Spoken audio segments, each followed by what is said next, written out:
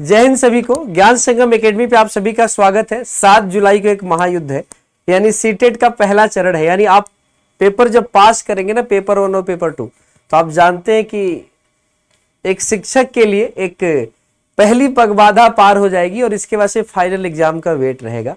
तो आप सभी को सीटेट सात जुलाई का जो पेपर है, इसके लिए सभी का स्वागत है आज के सेशन में, क्योंकि आज जो जानकारी हम आपको बताने वाले हैं एडमिट कार्ड तो आपका आउट हो गया, लेकिन एडमिट कार्ड से जुड़ी हुई बहुत सारी ऐसी जानकारियाँ हैं जो आपको समझ में नहीं आ रही, उसके बारे में पूरी बातें आज जानेंगे और वीडियो को अंत तक देखिएगा कि भैया किस समय पहुँचना है पेपर टू का पेपर कब है पेपर वन का पेपर है कब है? क्योंकि यहाँ पर पेपर वन और पेपर टू वन और टू से लगता है कि पेपर वन सुबह होगा पेपर टू शाम को होगा, लेकिन ऐसा है नहीं, उल्टा है इसमें।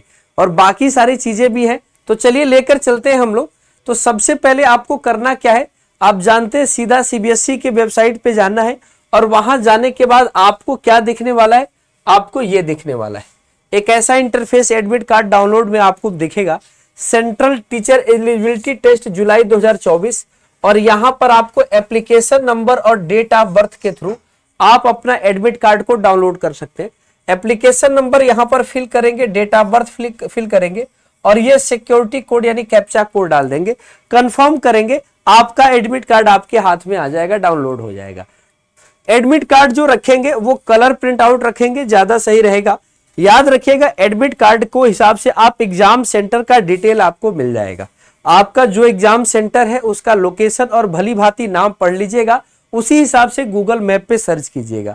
कभी भी आप देखते हैं तो जैसे उत्तर प्रदेश, वाराणसी, प्रहलाद घाट है, ऐसे ही आपको अपने पीलीभीत के हैं या आप कानपुर के हैं, आप उरई के हैं, आप जहाँ के भी हैं, उस हिसाब से अपना लोकेशन आपको सर्च करना पड़ेगा, ठीक है? कैंडिडेट का एड्रेस भी यहाँ पर आप जानते हैं कैंडिडेट का एड्रेस भी होगा। दूसरी बात, आप उस हिसाब से अपना डिटेल्स मिला लीजिए, क्या आपका डिटेल सही है। यहाँ देखिएगा, दोनों पेपर के लिए लैंग्वेज ऑफ़र है, आप चेक कर लीजिएगा, कोई गलती तो नहीं है। अगर कोई गलती हो तो आपको इसका ऑब्जेक्शन करना पड़ेगा। पेपर वन जो है, सात तारीख को है और पेपर टू भी सात तारीख हो, दोनों पेपर सात तारीख को है। लेकिन टाइमिंग दी हुई है। पेपर वन की टाइमिंग 12 बजे से लेकर साढ़े चार बजे तक। यानी दोपहर में पेपर है 12 से साढ़े चार। और पेपर टू जो है संडे को ही है, लेकिन सुबह साढ़े नौ से 12 बजे तक है। तो जो आप जानते हैं कि गेट क्लोजिंग का टाइम है, वो सुबह वाले पेपर के लिए दो बजे और शाम वाले पेपर के लिए साढ़े नौ बजे। यानी आपका सुबह पेपर होगा पेपर टू और शाम को होगा पेपर वन। बात समझ में आई बात? क्या हमने कहा? हमने ये कहा कि पेपर वन जो होगा, वो पेपर होगा आपका दोपहर में। यानी प्राइमरी वाले स्टूडेंट्स को पेपर देना होगा दोपहर में, दो बजे से लेकर साढ़े चार बजे तक। ठीक ना? फोर थर्टी पीएम तक देना होगा। और गेट आपके दो बजे बंद हो जाएँगे। यानी एक घंटे पहले आपको पहुँचना ही पहुँचना है। पेपर टू, जो प्राइमरी वाले स्टूडेंट है प्राइमरी कह रहे जूनियर वाले इनको ध्यान पे रखना है कि इनको जो है साढ़े नौ बजे आपको पहुँचना है। साढ़े नौ से बारह आपका पेपर है। तो आपको एक घंटे पहले पहुँचना है। ठीक है? तो पेपर वन जो होता है, वन टू फाइव के लिए होता है और पेपर टू जो होता है, सिक्स टू एट के लिए होता है। ये आपको क्लियर हुआ? कोई डाउट तो नहीं? आराम से पेपर आपको देना है। दूसरी बात देखें कि इसमें आपको देखने को मिलेगा कि बहुत सारी जानकारी दी हुई है। और इस संबंध में हम लोग एक एक जानकारी को देखेंगे कि कहाँ पर क्या क्या दिया हुआ है और सारी चीज़ें नोट करेंगे। चीज़ें देखेंगे। चलिए, सबसे पहले हम आपको बता दें कि आप देख सकते हैं एडमिट कार्ड और इसी एडमिट कार्ड को लेकर अगर हम चले देखिएगा, थोड़ा इसको जूम आउट करते और आप इसको पूरी तरह से चीज़ें देख सकते हैं। लिखा हुआ है कि candidate having admit card without proper visible photograph and signature will not be allowed to appear in CTET 2024 in any condition पहला ही नियम बड़ा स्ट्रिक्ट लिखा है कि आपके एडमिट कार्ड पे आपका फ़ोटो आपका नाम और आपका सिग्नेचर स्पष्ट होना चाहिए। अगर स्पष्ट नहीं है तो आपकी एंट्री नहीं होगी।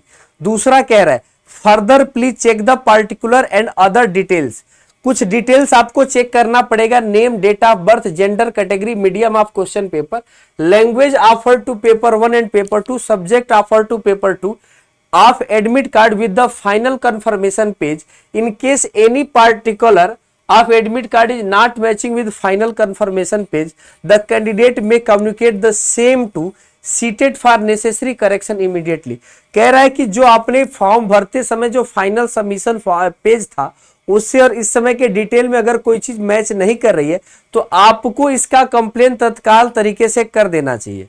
ठीक है? दूसरी बात कह रहा है कि important direction for candidates candidate must follow the instruction mention in the admit card जो जो इंस्ट्रक्शन दिए गए हैं the candidate should report at the examination centre 120 minute before the commencement of examination. The candidate reporting the center after the gate closure. Time will not be allowed to appear in the exam कहने का यह मतलब है, आप हमेशा centre पर दो घंटे पहले पहुँच जाए, जिससे एग्ज़ाम के शुरू होने के बाद गेट ओपन नहीं होगा तो इसके लिए सेंटर या इसके लिए सीटेड जो है, जिम्मेदार नहीं होगा। Candidate should not bring their own blue या black ball point pen to write his particular if any कह रहे कैंडिडेट को अपना ब्लैक या ब्लू पेन को लेकर जाना है। तो आप दो से तीन पेन अपना रख लीजिएगा। Candidate without having proper admit card original photo ID proof shall not be allowed in the examination centre बहुत ध्यान से देखिएगा एडमिट कार्ड आपके पास होना चाहिए और ओरिजिनल फ़ोटो आईडी प्रूफ होनी चाहिए।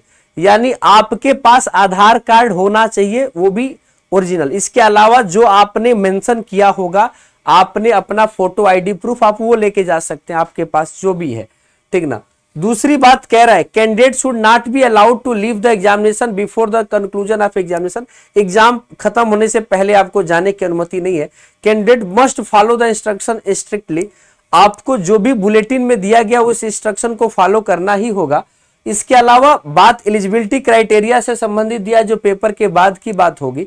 ठीक ना? कह रहा है, इस एडमिट कार्ड को आपको संभाल के रखना है। ठीक ना किसी भी प्रकार के टेब, टेबलेट हो गए चॉकलेट हो गए candy fruits banana apple orange ना फल स्नैक्स किसी भी प्रकार की चीज़ें नहीं लेकर जानी है ठीक ना।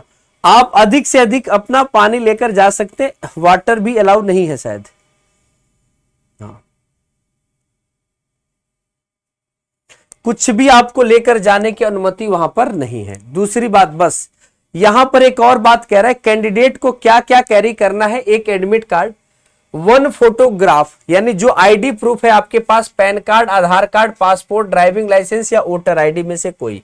इसी में से कोई लेना है। Driving licence, voter ID passport, PAN card या Aadhaar card. Ball point pen, blue या black of good quality. Water bottle transparent, आधा लीटर का ही पानी का बोतल लिखा आप तो ले सकते कम या ज़्यादा।